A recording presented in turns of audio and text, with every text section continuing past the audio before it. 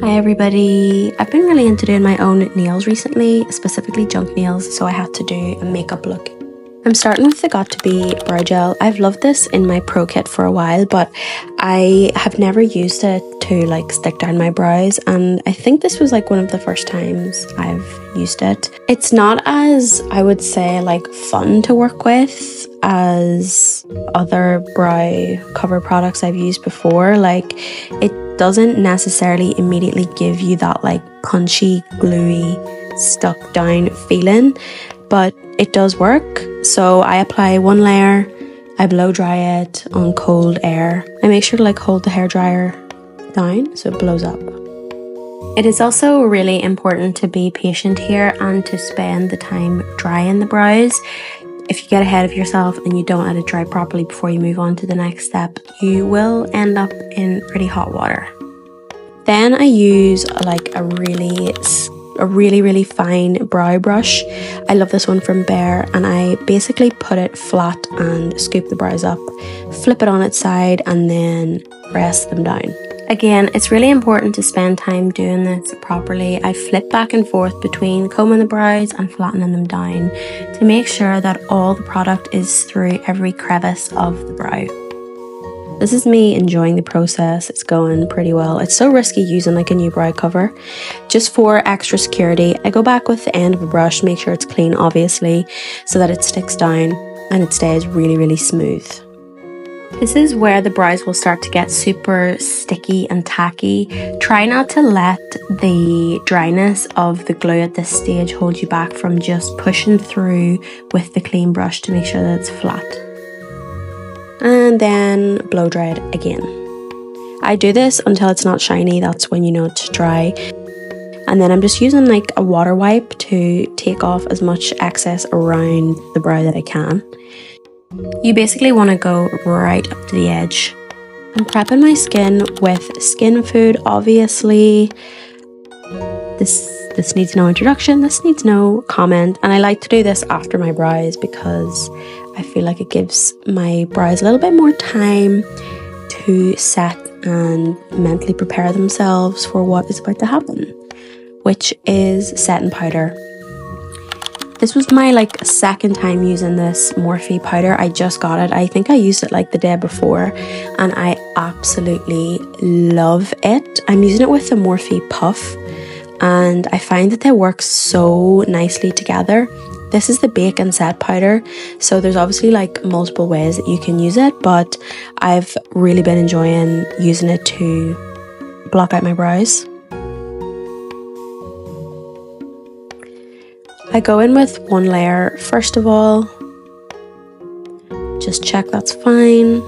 When I'm doing this, I kind of make sure just to press it on. You're not moving it around at this stage, just press it onto the brow a good couple of times. And do the other one. I hope you can't hear my washing machine, you probably can, but I have to. And I'm using the flatter, thinner side of the puff just so that the powder doesn't go everywhere because I don't need it everywhere and it just really concentrates on the brow. As you can see, I am satisfied with the cover. I'm going to use my About Face eye paints in Freaked and White Noise. I love About Face. I don't even need to talk about them. You know I love them. I really love them for brow covers. But I'm mixing these two shades. I really, really like this like super white base lavender that I get when I mix them, especially for a brow cover. And I always kind of find myself leaning towards this when I want like sort of a nude base that is more cool toned and less warm. I mix the two shades together on the back of my hand, apply it with a brush, and then I blend that out with a sponge. This is the Kosas sponge, I believe, and I don't know how much of a difference different brands of sponges make, but I really like this sponge and then I go again on the second brow. I have to work really, really quickly here. So if I look stressed on my face, it's because I am and I'm really deep in thought. And I'm probably thinking that if this doesn't work, I will cry and like it'll ruin my day. And I don't want to do that. But it's going pretty well, so we're like safe for now. I'm going back into my Morphe powder and I'm going to do another layer of And look how nicely that covers. It just like blends so beautifully. I know you can kind of see my brow underneath a little bit, but I don't really care because when everything else is on, you're not going to see it. And I kind of like when you can tell the brow is blocked and then you've drawn a brow on top. I think it looks quite cool. Then I just dust off the excess with a clean fluffy brush. Very happy with this as you can see. This is another one of my like favorite products ever. It's the Mehron Clown White Face Paint. You can use it for anything, obviously. I am going to use it as my base today. I find it nearly impossible when I block out my brows to not do a white base, but I knew that I wanted like my face to reflect nails as if someone had gone and got their nails done and they asked for junk nails. I know there would be a white base in there somewhere, so I really wanted to like emulate that. But I'm going to mix it with a tiny bit of MAC Studio Fix Fluid Foundation just to tone it down a wee bit. It's still going to be super, super white, which is what I want, but um, I like to just sort of warm it up a tiny, tiny bit so it's not as clowny and it's a bit more like blurry and more of a wash of white as opposed to like Marie Antoinette. I also find that it helps the clown white to blend better because the clown white is very like pasty, very thick, very heavy. And when you warm it up, it's fine to blend. Like it blends like a dream anyway, but a little bit of foundation in there just kind of helps it give a wee bit more slip. Again, it was really important for me to not like have just like a white sheet over my face. So I'm blending it and blurring it out towards the edges as opposed to having like a harsh line around my jawline. So whatever I've applied to the center of my face, I just kind of blow out and let it be nice and soft.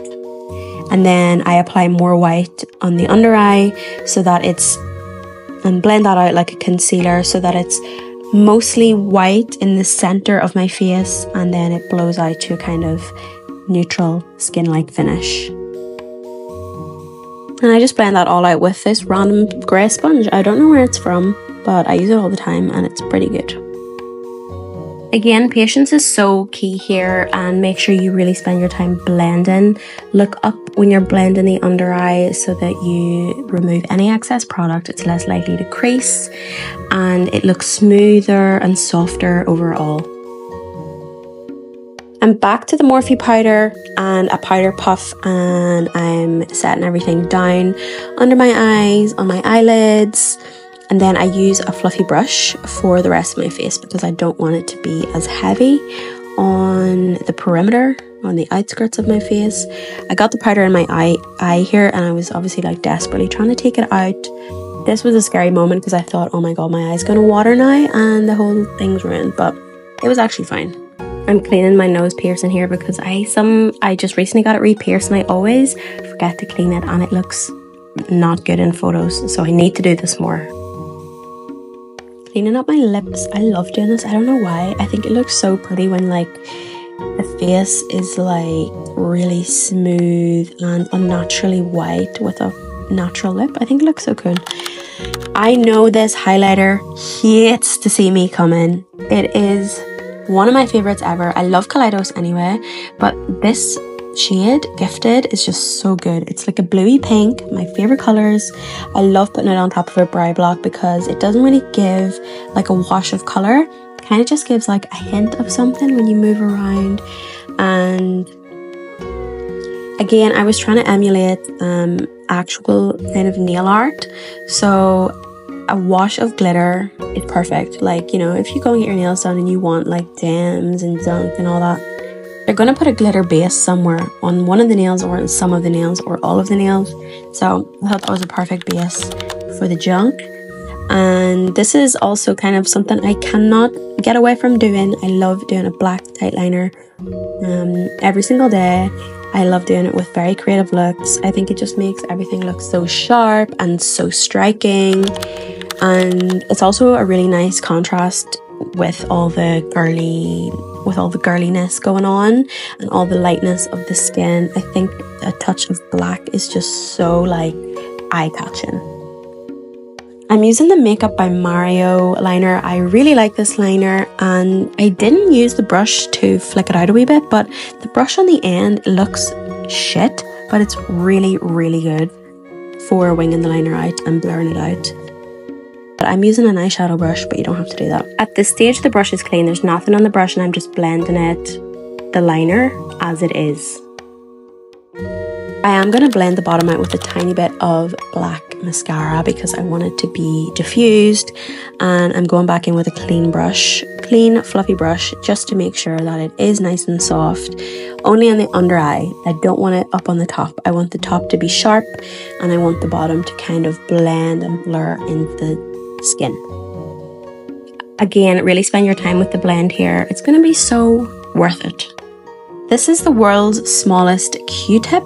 It is so tiny and skinny, and it is so perfect for everything sharpening your edges up, fixing tiny mistakes. When you need to be really precise, these are incredible. I got them on eBay, and I can never go back to normal Q tips now. I'll make mistakes or for sharpening things up. I really didn't want much or anything on the lashes at all, especially not fake lashes, so I'm just doing a tiny bit of mascara. Okay, we're getting into the gems now. I got these on Amazon, you can get them anywhere. I start by just laying down dots of glue and I pressing down a few gems that I like. I didn't really film this because it was really repetitive and long, and I'm literally just sticking gems down. I then moved over to like smaller nail art gems that I've had for a very long time and I picked out small, medium and large and kind of just dotted them in between all the bigger junk pieces just so that it adds like a little bit more dimension and it fills up the gaps a little bit and just makes them a little bit more realistic. I love using this green shadow as blush. It's so nice. It's kind of become like a neutral to me now. I feel like I've used it so many times, but I just love it with everything. It always looks so good. And I thought it would be nice to pull out the little bits of green in the eye as opposed to the pink. So it wasn't overly on the nose. I'm using MAC Beige Liner here, which looks, with when I have like no other makeup on, it looks so weird on me, like it looks green. Um, but with everything else going on, it looks really neutral, like as if it was stone. I'm also using Freaked as a base because I want a full coverage nude and Freaked obviously ties in to the rest of the look and keeps everything pretty neutral. I'm using this AF94 gloss in underneath it all. It's a bubblegum. It gives a hint of pink, which works perfectly for the theme, but it's not like overbearing. And there we have the junk eyes. I absolutely loved filming this look. When I imagined it on my iPad, on my face chart app, I was so excited to do it. And I'm really, really happy with how it came out. And I hope you enjoyed and I'll see you next time.